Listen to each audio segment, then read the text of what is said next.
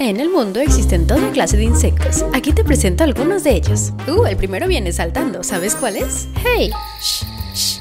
¿Escuchas eso? Oh, sí, soy yo el saltamontes y soy un insecto perteneciente a la orden de los ortóptera. Mi nombre científico es Caelífera. En el mundo existen 11.000 especies de saltamontes aproximadamente y estamos repartidos en todo el mundo, excepto en la Antártida por el clima extremo, aunque en todos los demás continentes nos puedes encontrar tanto en bosques y praderas como en montañas y desiertos. Lo que nos caracteriza a los saltamontes y la razón del por qué nos llamamos así es por nuestras largas patas traseras, que nos ayudan a recorrer distancias inimaginables por medio de saltos. Al momento de alimentarnos, somos muy quisquillosos, ya que siendo herbívoros nos alimentamos de plantas, hojas, flores, semillas y tallos. Para los agricultores no somos precisamente los animales más queridos, ya que algunos tipos de saltamontes somos considerados plagas cuando nos movemos en grandes enjambres. Por nuestro gran apetito podemos llegar a comer hasta 100.000 toneladas de plantas al día cuando se trata de enjambres enormes, por supuesto. Pero tranquilo, en realidad solo unas 10 de todas las especies que hay llegan a vivir en dichos enjambres. Los demás son insectos más que nada solitarios. Como dato curioso, ¿sabías que cada saltamontes puede llegar a consumir 16 veces su peso en alimento? Cada uno de nosotros vive entre 6 y 7 meses y nuestro ciclo de vida es muy simple. La hembra pone los huevos en otoño, estos eclosionan en primavera, luego del huevo sale lo que se conoce como ninfa, que es como un saltamontes pero sin alas, y al llegar a la adultez, la ninfa desarrolla sus alas. Muchas especies de saltamontes producimos sonido al frotar nuestras alas con las patas. Esta es como una especie de serenata que hacemos los machos para declarar nuestro amor a las hembras. Además, ¿sabías que las hembras son más grandes que los machos? Pueden llegar a poner entre mil y diez mil huevos. La especie de saltamontes más grande del mundo es el hueta gigante y habita en Nueva Zelanda. Es considerado el insecto más pesado del mundo. Puede llegar a medir hasta 10 centímetros y pesar hasta 70 gramos. En invierno, cuando bajan las temperaturas, entran en un estado de suspensión animada, sin signos vitales y completamente congelados. Y cuando llega la primavera, se descongelan y reviven. Otro dato curioso es que nuestros oídos no están al lado de nuestra cabeza como los tuyos, sino de nuestro abdomen. Qué curioso ha sido el saltamontes. El siguiente insecto es caracterizado por ser muy hermoso. Hola pequeño, o debería decir gigante. Soy yo, la mariposa. ¿Alguna vez me has visto? Seguramente sí. Mi nombre científico es Lepidoptera y soy un insecto, o sea que soy un invertebrado con un par de antenas, seis patas y dos pares de alas. Las más conocidas de las mariposas son las diurnas, aunque la mayoría somos nocturnas y pasamos desapercibidas. En el mundo existen alrededor de 150 especies de lepidópteros, 18.000 especies son mariposas y 132.000 especies son polillas. El hábitat donde más habitamos es en zonas tropicales de climas cálidos, donde haya abundante vegetación que es nuestro principal alimento. ¿Conoces sobre nuestro ciclo de vida? Es toda una transformación, ya que al salir del huevo nacemos como orugas, donde tenemos que alimentarnos mucho y crecer y crecer. Después crearemos lo que se conoce como capullo, pupa o crisálida. Aquí es donde ocurre la metamorfosis, ya que entramos como orugas y salimos como hermosas mariposas. La más grande de las mariposas es la alas de pájaro reina Alejandra y la más grande de los lepidópteros es la polilla atlas. ¿Te he sorprendido? La verdad es que sí. El siguiente insecto es uno particularmente especial. ¡Hola, gigante! Sí, gigante, porque para mí eres enorme. Soy yo, la abeja. ¿Alguna vez me has visto? Estoy casi segura de que sí. Mi nombre científico es Antófila. Soy un insecto y además soy uno de los animales más importantes que existen. Y probablemente pensarás, sí, ya sé que gracias a las abejas hay miel, pero no es para tanto. Pues adivina qué, no es solo por la miel que soy tan importante, es en realidad porque gran parte de la vida de este planeta depende de mi esfuerzo y de mi trabajo. Te contaré. Las abejas somos las responsables de la polinización del 70% de todas las plantas, de las cuales la tercera parte sirve de alimento al humano. O sea que si el día de hoy has comido alguna fruta o alguna verdura, es muy probable que yo haya ayudado al proceso de que esa comida esté ahí. ¿Puedes creerlo? Por eso es muy importante cuidarnos. Si alguna vez me ves, no te asustes. La realidad es que lo último que haría sería picarte. Literalmente, ya que solo podemos picar una vez en la vida. Y si picamos, significa nuestra muerte inminente, por lo que en realidad lo evitaré a toda costa. Las abejas somos extremadamente sociables. Necesitamos las unas a las otras para sobrevivir y vivimos en colonias en forma de enjambres. Nuestras colonias se organizan en una estricta jerarquía de tres rangos sociales. La abeja reina, que es la madre de todos nosotros, los zánganos, que son los machos, y las abejas obreras, que son las hembras. ¿Sabes? En el mundo existen más de 20.000 subespecies de abejas y habitamos en todos los continentes de la Tierra excepto en la Antártida. Las abejas somos uno de los animales más antiguos, ya que hemos estado aquí en este mismo planeta desde hace más de 30 millones de años. ¿Puedes creerlo? Ah, tan bellas las abejas. El siguiente insecto no es muy adorado por muchos. ¿Un animal incomprendido o realmente merece su fama?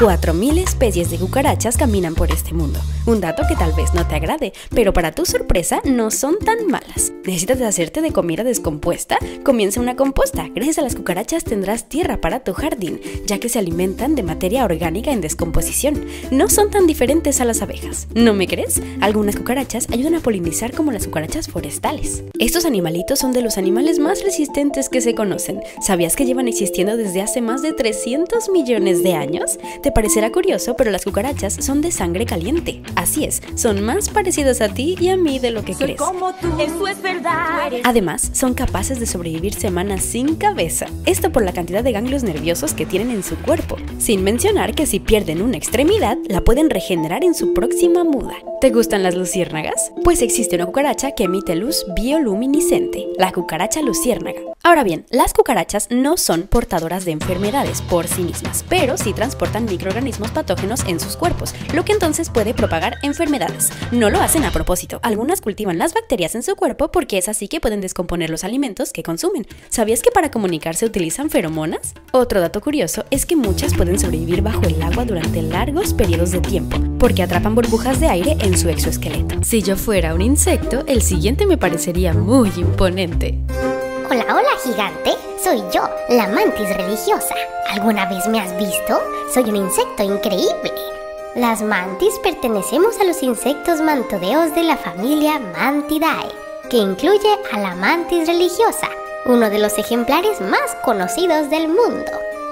En el mundo existen 15 especies de mantis, pero hablemos sobre mí, la mantis religiosa.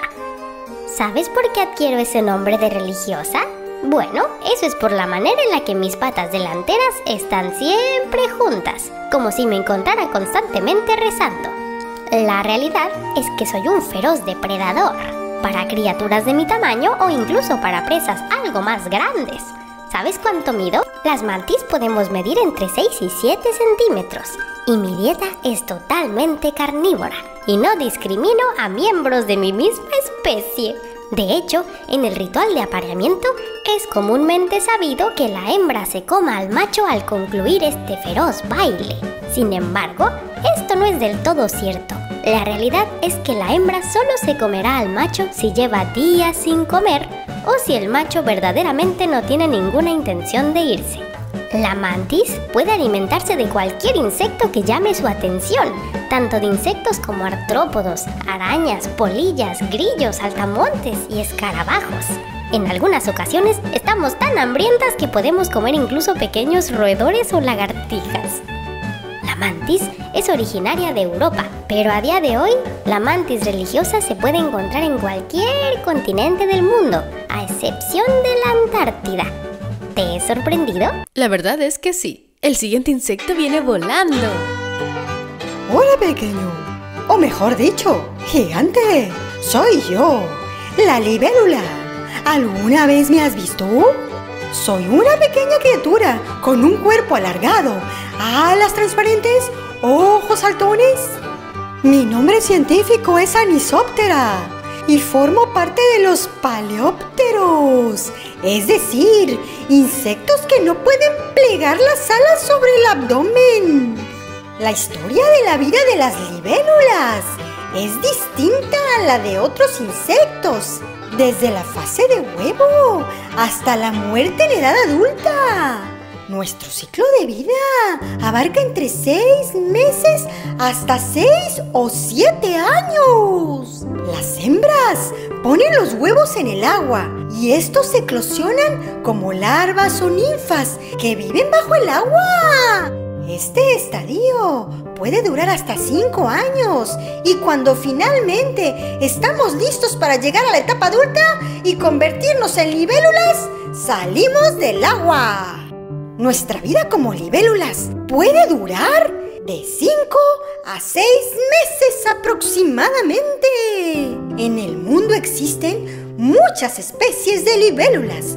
Somos un aproximado de 5.700 muchísimas. Nuestro cuerpo delgado y alas largas y delgadas hacen que seamos uno de los insectos más veloces que existen. Podemos alcanzar la impresionante velocidad de 145 kilómetros por hora. ¿Puedes creerlo? Además, las libélulas tenemos dos pares de alas, las frontales que se mueven separadamente de las traseras, lo que les permite volar hacia adelante y hacia atrás. Así es, somos extremadamente rápidas. ¿Y sabes de qué nos alimentamos? Bueno, las libélulas somos insectívoras, lo que quiere decir en este caso que nos alimentamos de otros insectos. Sobre todo de moscas y mosquitos, que son nuestros platos favoritos. Para cazar volamos y atrapamos insectos con nuestras patitas o permanecemos flotando en el agua a la espera de nuestra siguiente presa. El siguiente insecto lo has visto muy probablemente. Hola, hola gigante. Soy yo, la hormiga. ¿Alguna vez me has visto?